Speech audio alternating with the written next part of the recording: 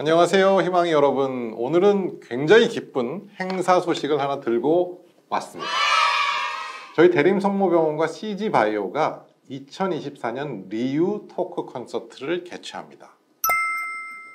2024년 올해 12월 6일 금요일 오후 3시부터 2시간가량 진행이 되고요.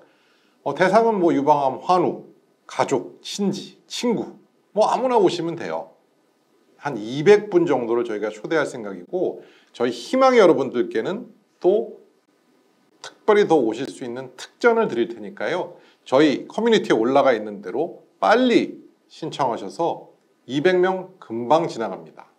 하루라도 빨리, 한 시간이라도 빨리 신청하셔서 기회를 놓치지 않으셨으면 좋겠고요. 장소는 서울에서 합니다. 강남구 봉은사로에 있는 베어홀이라는 곳 역시 커뮤니티에서 확인하실 수 있습니다.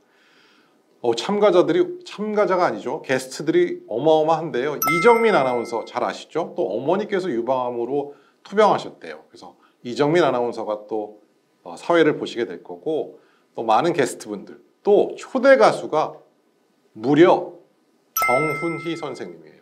안개 아시죠, 여러분? 안개.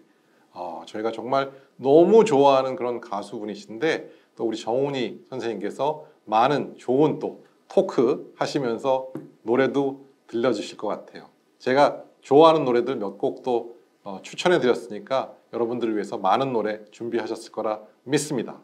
여러분 어떻게 보면 저희 유방건강TV 어, 오프라인 미팅, 뭐 작게는 팬 미팅 뭐 이렇게 생각하시고요. 지방에 계신 많은 희망의 여러분들도 이번 기회에 서울 올라오셔서 제 얼굴도 좀 보시고 또 제가 하는 강의도 좀 듣고 또 좋은 시간 가졌으면 좋겠습니다. 잊지 마시고 빨리 신청하세요.